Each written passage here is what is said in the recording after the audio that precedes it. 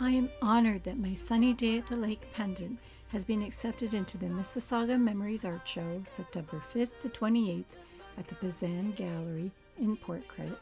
My eco-friendlier pendant is made with upcycled sterling silver, vintage citrine, and local beach glass combined with some new sterling silver and clear quartz beads. The sparkly citrine sun shines over the silver beach, featuring a piece of aqua blue Lake Ontario beach glass wrapped with silver wire and sparkly faceted silver beads, and clear crystal quartz stone beads. The wire designs and hammered silver represent the movement and reflections of water. Of course, I had to add a heart on the bail above.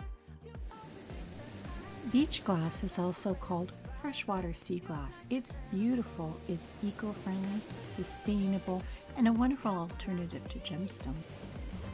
Mississauga has long walking trails with many parks and beaches all along the lake. It's a wonderful place to make new memories.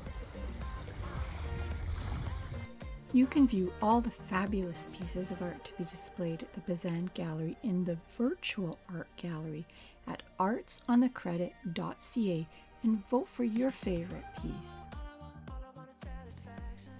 Check out my website, anythingspossiblejewellery.ca, to see more of my creations.